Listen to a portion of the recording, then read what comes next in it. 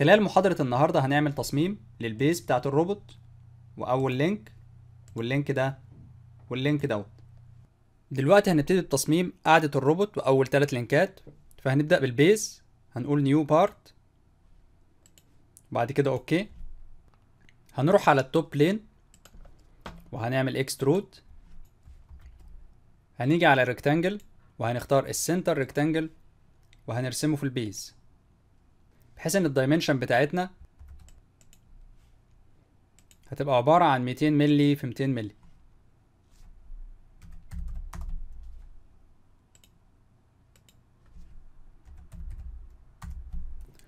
هنعمل exit sketch وهنخلي إن ال depth بتاعنا يبقى ب 15 ملم وهنقول enter وبعد كده OK هنختار السطح اللي فوق وهنعمل normal to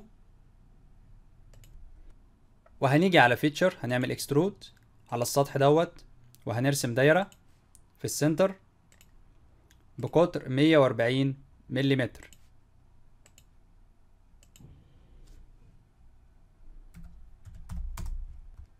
هنقول exit sketch وهنيجي على الشكل دوت هنخليه trimetric وهنخليها مثلا 90 ملم وهنقول OK هنيجي بعد كده على السطح اللي فوق هنعمل cut extrude أو extruded cut وهنختار اوفست وهنخليه يبقى reverse وبدل ما هو 10 ملم هنخليه 5 ملم وهنقول enter وهنقول OK وبعد كده نعمل exit sketch وهنخلي عمق ال extruded cut بتاعنا هيبقى عبارة عن خمسة أو تلاتة ملم وهنقول OK هنختار ال right plane وهنرسم فيه زي box عبارة مثلا عن ال control unit وعن ال power supply بتاع ال system. هنقول normal to هنختار المستطيل العادي وهنرسم المستطيل بتاعنا بحيث إن الأبعاد بتاعته هتبقى مثلا 38 في مثلا 85 وبعدين أنا عايز البعد من هنا السنتر دوت. لحد هنا. يبقى عبارة مثلا عن 42 ونص يبقى في النص. وكمان عايز البعد من هنا لحد هنا. يبقى عبارة مثلا عن 40 هنقول exit sketch وعلشان نشوف ال extrude بتاعنا هنعلم على المستطيل. وهنختاره في الشكل ال trimetric وهنقول مثلا إن إحنا عايزينه يبقى extrude ب 80 ملم أو ب 100 ملم وهنقول enter و OK. الخطوة الأخيرة إن إحنا في العادة بنحتاج نثبت القاعدة بتاعة الروبوت ديت في الأرض. فهنحط مجموعة مسامير بحيث إن هي تثبت ال base بتاع الروبوت. فهنيجي على ال hole wizard هنختار ال counterbore اللي هي أول واحدة. ب size M 6 وهنخليه through all. وبعدين عايزين نحدد ال position بتاع المسامير دي. فهنختار السطح دوت. وبعدين هنعمل normal to ونبتدي نحدد أماكن المسامير. هنحط مسامير مثلا بطريقة عشوائية وبعدين نحدد لها ال dimension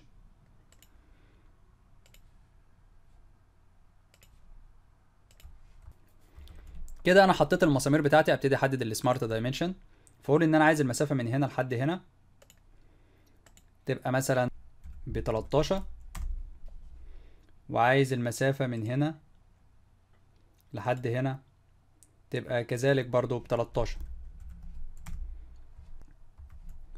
وعايزين إن المسافة من هنا لحد هنا تبقى 87 زي ما هي موجودة كده.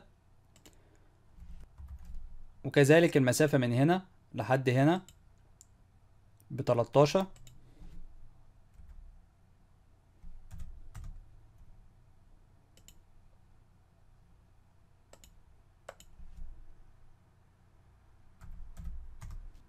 والمسافة من النقطة ديت للنقطة ديت بسبعة وتمانين. ومن النقطة ديت للنقطة دي بسبعة وتمانين.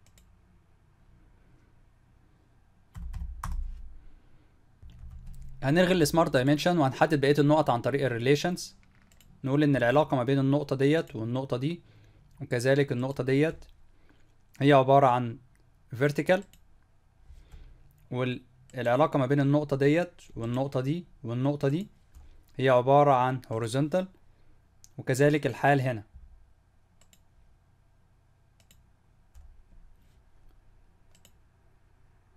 وهنعلم على OK. وإذا بصينا على الشكل بتاعنا بعد ما خلص في شكل مثلا trimetric هنلاقيه بقى بالشكل اللي إحنا شايفينه ده. هنيجي على file وبعد كده save as و robot underscore base وهنقول save هنبتدي بقى نرسم ال link الأولاني في الروبوت فهنيجي على ال top plane وهنروح على extrude وهنختار ال circle وهنيجي عند ال center هنرسم دايرة ب smart dimension 140 ملم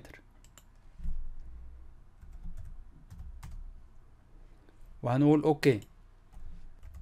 هنقول exit sketch وبعد كده هنعمل extrude بمسافة 15 ملم وهنقول OK. هنيجي على السطح اللي تحت بتاع الروبوت. وبعد كده هنعمل سكتش بدايرة. وهنقول normal to نرسم الدايرة بتاعتنا. بحيث إن القطر بتاعها هيبقى 130 ملم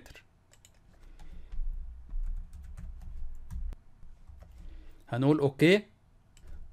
وبعد كده هنروح على feature وبعد كده نقول extrude هنخليها بمسافة 3 ملم وهنقول OK. هنختار ال front plane وهنقول normal to وهنرسم عليه سكتش زي ما إحنا شايفين دلوقتي. هنختار ال solid line دوت. وهنرسم أي سكتش بالطريقة اللي إحنا شايفينها دي.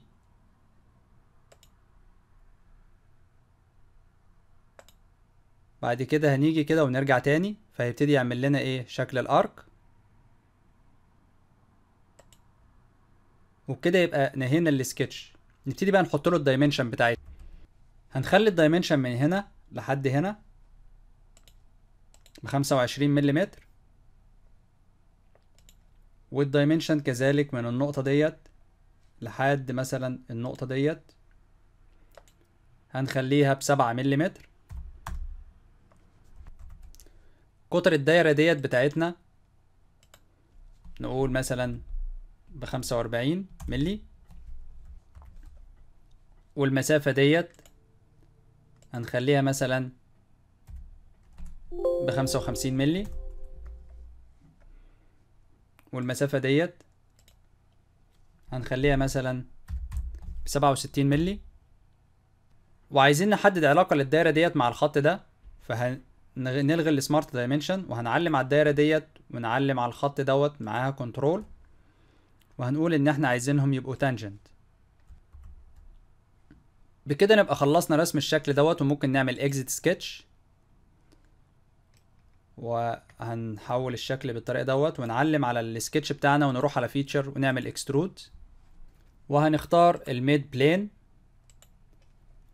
وهنخليه 10 ملم وهنقول okay هنبتدي بقى نحط أماكن المواتير. في stepper motor هيبقى هنا وفي stepper motor هيبقى في الناحية دي فأول حاجة هنعلم على الشكل دوت وهنقول normal to ونبتدي نرسم الموتور بتاعنا الأولاني. هنيجي على hole wizard بعد كده هنختار ال straight tap الجزء دوت. وهنختار M 5 في 0.8 وبعد كده هنيجي هنختار 10 ملم وبعد كده هنروح على position وهنحط أربع مسامير.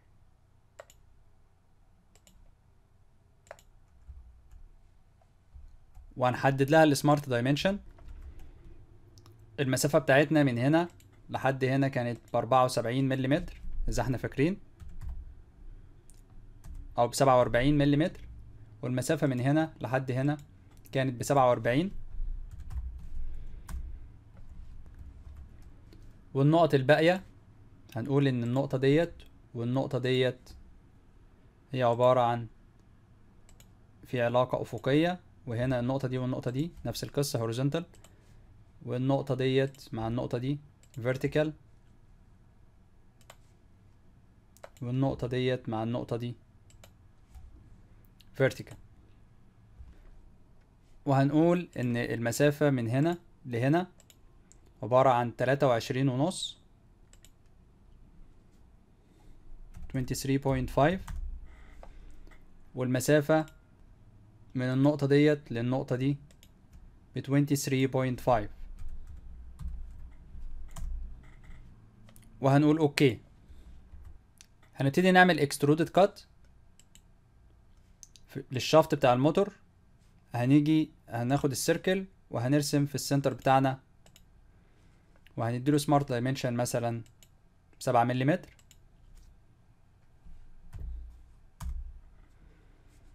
وهنقول okay بعدين هنعمل exit sketch وهنقول through all. وهنقول okay هنرجع تاني على الشكل دوت. هنعدل فيه تعديل بسيط. هنقول edit. وهنخلي المسافة دي بدل ما هي خمسة وعشرين مثلا هنخليها خمسة وتلاتين. وهنقول exit sketch. بحيث إن هي ما تضايقش ال stepper motor هنا. عندنا ال stepper motor ده هيحرك ال link الأولاني وفي link تاني هيبقى مربوط بال link دوت بالجزء ده. فإحنا عايزين نحط stepper motor هنا مش لازم نقعد نرسمه خطوة بخطوة. فممكن نعلم على الجزئين دول اللي هم بتوع ال extrude اللي إحنا عملناهم وندوس control ونسحبهم نحطهم على السطح. فهنقول delete كده هيخلي لك المكان بتاع ال stepper motor زي ما إحنا شايفين. وبكده نكون رسمنا ال link الاولاني.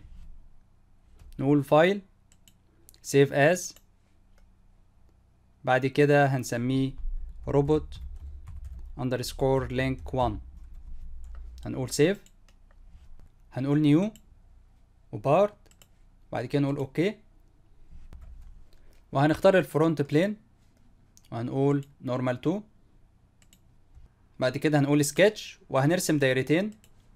هنرسم واحدة عند ال center هنا والتانية في أي مكان. هنقول إن ال dimension بتاعت الأولانية هي عبارة عن خمسة وتمانين مليمتر وال dimension بتاعت التانية هي عبارة عن خمسة وستين مليمتر. وهنختار ال line وبدل ما هو line هنختار center line وهنوصل المس... النقطة دي بال center اللي هنا. وبعد كده هنبتدي نحدد smart dimension ليها.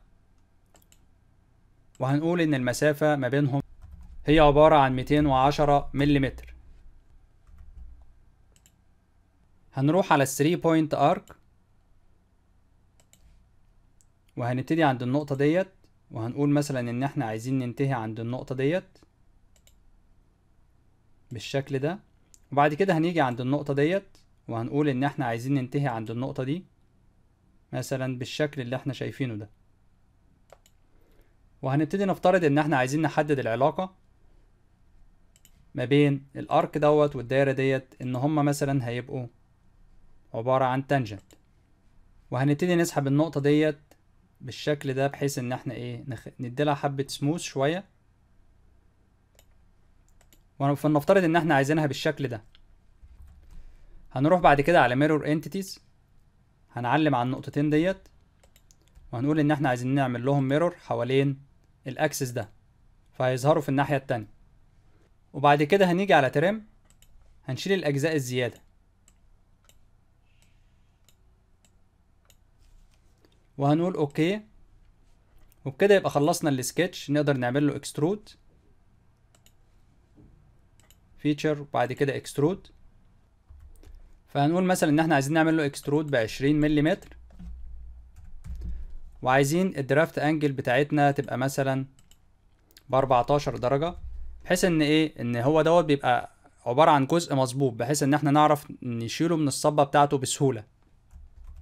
فنقدر نقول okay. وهتلاقيه بقى بالشكل دوت. بحيث مثلا إذا إحنا حبينا نشوف هو هيبقى شكله عامل إزاي. فإذا قلنا مثلا على ال top هتلاقيه يبقى فيه منحنى رايح من السطح الأولاني للسطح التاني.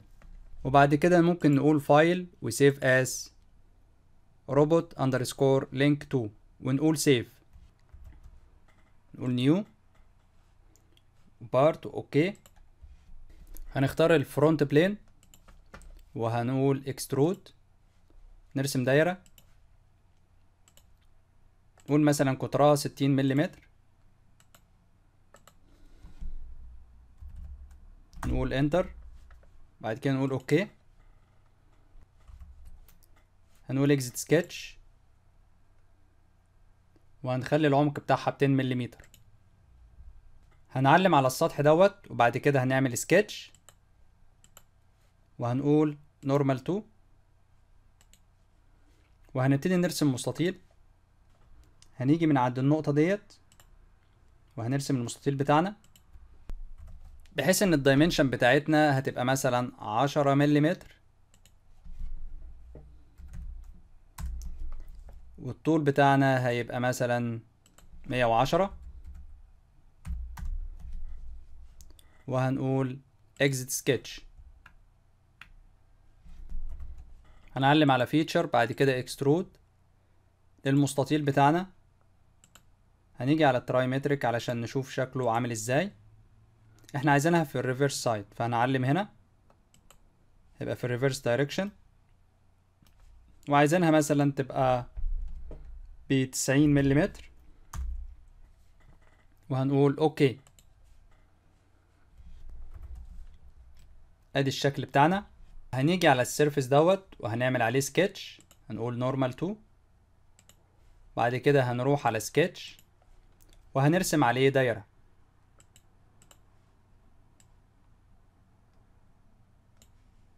بعد كده هنقول smart dimension عايزين الدايرة دي تبقى 60 مليمتر. وعايزين ال dimension بتبقى من هنا مثلا لحد هنا تبقى عبارة عن 50 مليمتر. وعايزين برضو إن الدايرة ديت تبقى tangent مع الخط ده. بعدين هنقول exit sketch. وهنعمل extrude في الاتجاه المعاكس بعشرة مليمتر. وهنقول okay. هنيجي على الدايرة دي مثلا وهنرسم عليها الأجزاء بتاعة تثبيت ال stepper motor. فهنقول extrude extruded cut. وهنقول normal 2 وهنبتدي نرسم عليها أربع دواير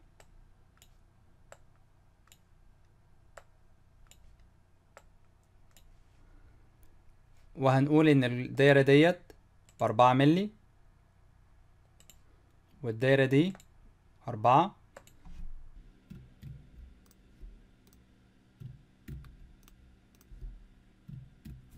وهنرسم دايرة كمان اللي هي بتاعت ال shaft بتاع الموتور وهنديها smart dimension ستة مليمتر بعد كده هنقول إن المسافة من هنا لهنا عبارة عن خمستاشر ونص. والمسافة من هنا هي عبارة برضو عن خمستاشر نص والمسافة من هنا لحد هنا كانت بواحد وتلاتين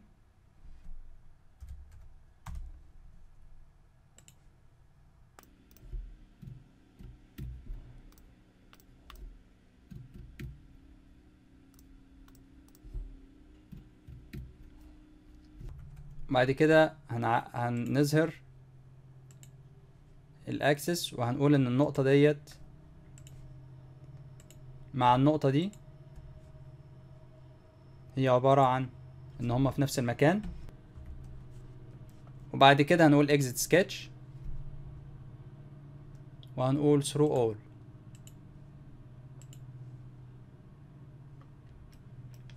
نفس القصة هناخد الكلام ده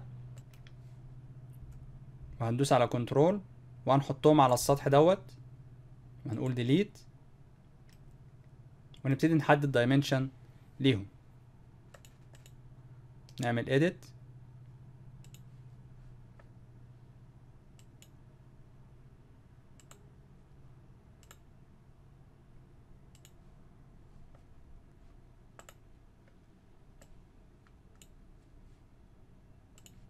وهنعلم على النقطة دي والنقطة ديت ونقول إن هما منطبقين على بعض.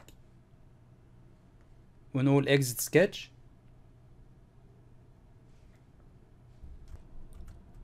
وبعدين هنخلينا نشوف الشكل في ال isometric. وهنقول مثلا إن إحنا عايزين نعمل fillet للنقطة ديت بمثلا بأربعين. وهنقول okay وهنقول كمان إن إحنا عايزين نعمل fillet للسطح دوت. بتلاتة مليمتر. وهنقول okay. وهيبقى بالشكل اللي إحنا شايفينه ده.